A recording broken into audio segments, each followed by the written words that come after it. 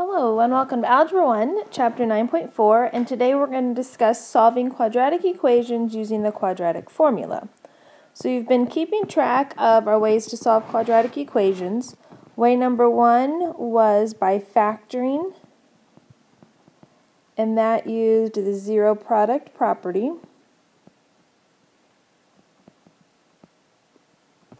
Way number two was the square root property, and those were both from chapter 8. Number three, we had solving by graphing, where you're looking for the x-intercepts. Four was completing the square.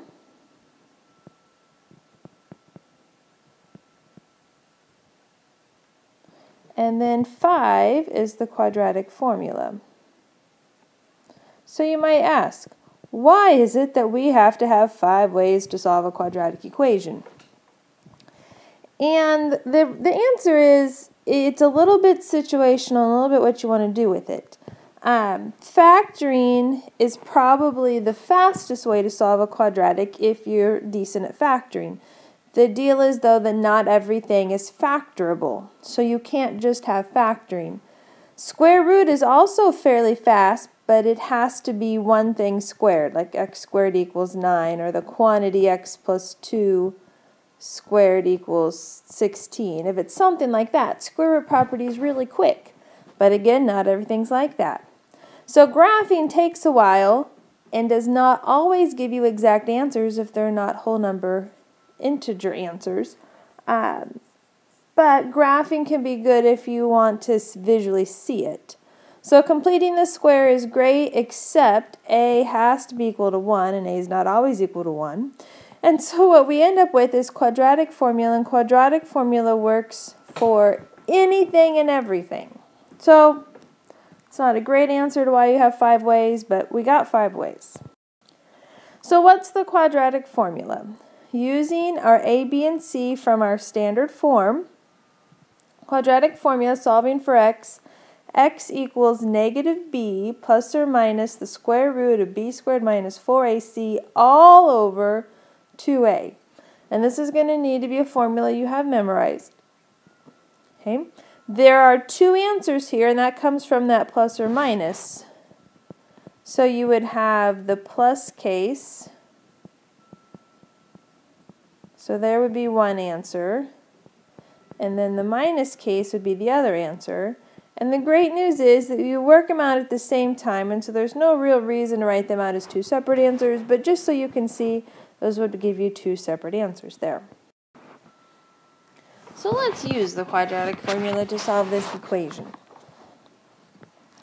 And first of all, it has to be equal to 0, and we have that, okay, because our remember our standard form, ax squared plus bx plus c equals 0. So if it's not equal to 0, you need to rearrange it so that it is. And this is one of the few times that if a is negative, that's fine, right? The other, most of the other forms, if a was negative, you, you wanted to change that. But this time, if a is negative, that's fine. So in this case, a is 1, b is negative 2, and c is negative 35. And I'm going to write out my quadratic formula.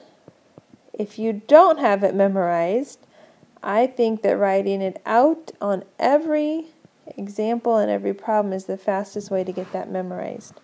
So we're just going to plug in our numbers. So we have a negative sign, and then we're going to put in b, which is negative 2, plus or minus the square root. And this needs to be a negative 2 in parentheses, because that's the way you're going to square it correctly. Minus 4 times a times c so get those numbers in there all over 2 times a. Once you have your numbers where they go, the next step is to just follow your order of operations. So we're going to clean it up. A negative negative becomes a positive 2 plus or minus the square root. Negative 2 squared is a positive 4 minus. I would multiply those three numbers together. So 4 times 1 is 4. 4 times negative 35 is negative 140, so we get a negative 140 all over 2. And that's going to lead us to the square root of 4 plus 140. because the minus and negative is plus there, which is going to be 2 plus or minus the square root of 144 all over 2. So the square root of 144 is exactly 12, so we got 2 plus or minus 12 all over 2. So from here, you're going to actually then do the math of doing 2 plus 12, which is going to be 14 over 2 and get 7. So there's one answer. The other answer is 2 minus 12, which is going to be negative 10 over 2 and get negative 5. And those are your two answers. So let's try the quadratic formula again. One thing that you have to make sure of is it's equal to 0. So I'm going to move the 4 over.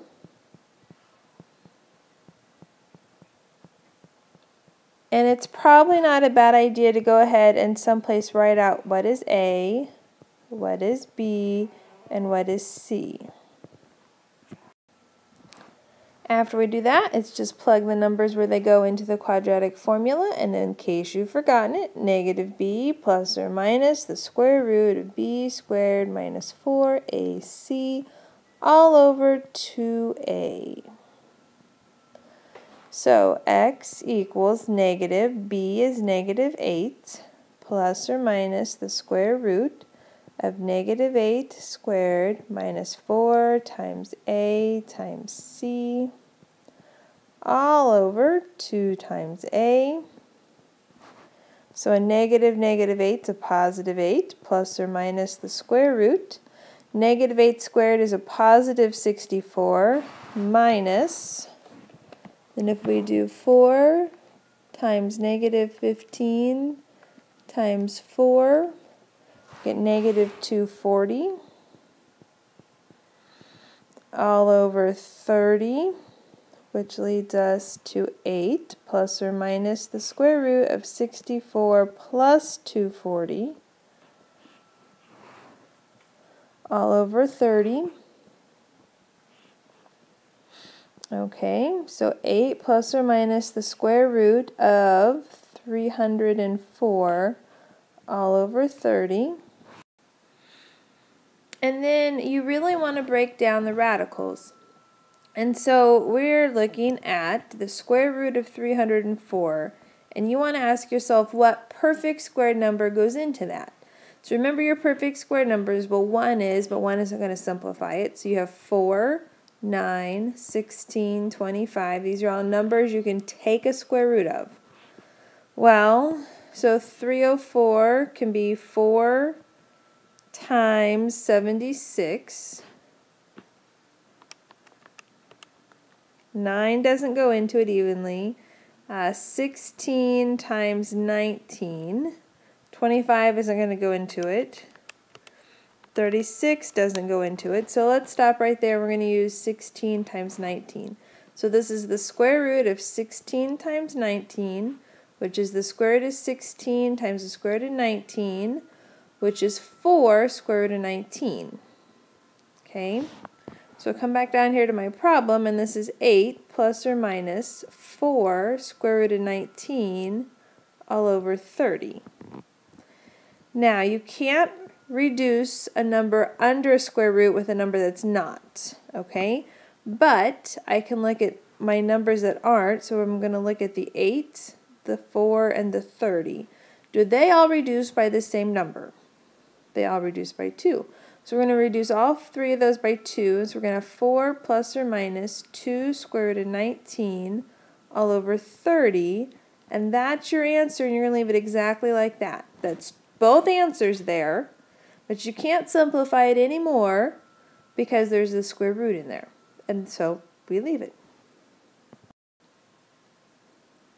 Okay, so let's do one more, I think, with the quadratic formula has to be equal to 0, so I'm going to move my 8m to the other side. So 3m squared plus 8m minus 1, make sure to write it in descending order. Figure out what your a, b, and c are. a, b, and c. Make sure you know what your quadratic formula is.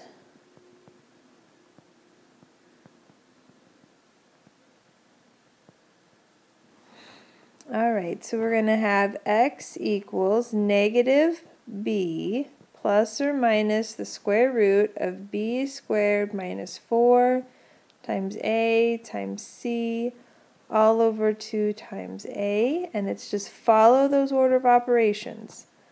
So we're going to do our exponent and get 64 minus, and it's going to become a negative 12, all over 6, which is going to be negative 8 plus or minus the square root of 64 plus 12, which is going to give us the square root of 76.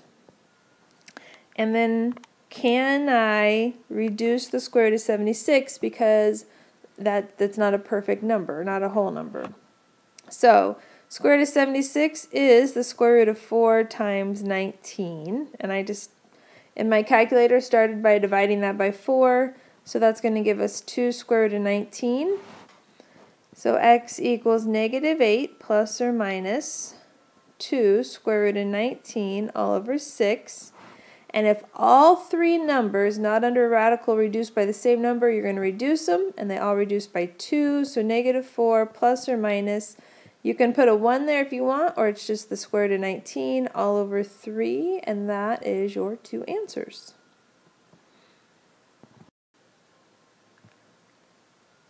All right, so I did put one more example in here.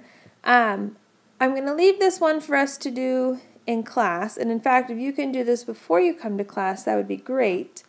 Uh, but there's two ways you can do this. You can do this with just saying, okay, A is a half, B is 2, C is 3 halves, right? And just work it out. There's nothing wrong with using fractions. Or if you do not like those fractions, take the entire equation, multiply it by the least common denominator, and that will get rid of your fractions. Okay? See if you can work this one out, and we will go over this one in class.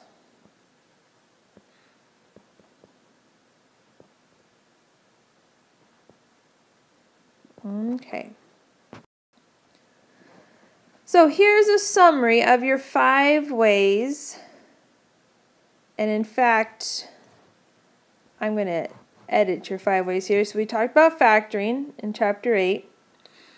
Um, using a table and graphing, I think, are the same thing. So let's add square root property. I don't care what order they are in. But we had factoring in chapter 8, we had square root property in chapter 8, then we had graphing, completing the square, and quadratic formula. Okay. Uh, square root property can only be used sometimes um, must be in the form of like x squared equals a. And x can be like x plus c squared equals a. Can be in a form like that too. All right, so make sure you have those written down. So the last thing we want to discuss is the discriminant. And you'll recognize this as the part under the square root. So if I wrote out my quadratic formula, negative b plus or minus the square root of b squared minus 4ac all over 2a. And so this part under the square root is called the discriminant. By the way, this part out front is your formula for your axis of symmetry. So Okay, we have a discriminant. So it's under the square root. So can you just put any number under a square root? Okay, and it is plus or minus that. So if you do plus or minus, let's say the square root of a positive number, like 49, that's going to give you two cases to consider. So if this discriminant is positive, you are going to have two real solutions. Now there would be other parts to that, but that would be help you get to those two real solutions. So what happens if you have a negative under that square root, like negative 4? What happens when you type a square root of a negative number into your calculator? Mine says non-real answer. So if you have the square root of a negative, you are going to have two imaginary or non-real solutions. That would be another conversation for us to have. Um, so what happens if you have 0? So you'd have plus or minus square root of 0. Well, the square root of 0 is just 0. And is there any difference between adding 0 and subtracting 0? None at all. So you're going to have one real solution. Now, what this equates to, if you were graphing, this is two x-intercepts. This is one x-intercept. That was the vertex on the x-intercept. And this is zero x-intercept. So it all really relates. And so you can figure out how many solutions you're going to have and what type just by looking at the discriminant. So we want to actually find the discriminant for the these two equations and then determine the number of real roots we're going to have. So just like before, it has to be equal to 0. So minus the 12 over. And your discriminant is b squared minus 4ac. So we're going to look at 10 squared, because that's abc, minus 4ac. And just following your order of operations, this is 100 minus negative 144 which is going to be 100 plus 144, which is 244. So that's my discriminant. It's positive, so I'm going to have two real solutions. And the next one, so there's A, B, C. So we're going to have B squared, and anytime you're putting in a negative, put it in parentheses, minus 4 times A times C so this is positive 4 minus 4 times 4 times 14 is a 224. So this is a negative 220. There's my discriminant. It's negative. So there are zero real solutions or real roots. All right, that's what I have for you for this section. Let me know if you have any questions, and if not, I will see you in class next time. Have a great day.